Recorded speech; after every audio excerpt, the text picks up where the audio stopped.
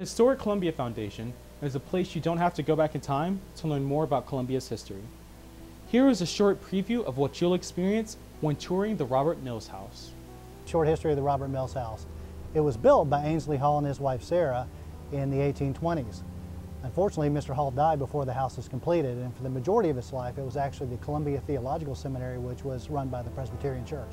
The Robert Mills House is a great example of a house that was built by an architect who we know his name, Robert Mills. We know he was from South Carolina, and yet a lot of people don't understand that he was actually the original designer of the Washington Monument. Prolific architect, very important to early American federal period architecture, and one of the few domestic architectural designs that he did that is still around today. When you go into the Robert Mills House, you will see period objects that date to the early 1820s. It's a time period that was very important in Columbia's history. That's right after we became the state capital and we're really growing in influence and you will also see temporary exhibits. We change those rather frequently.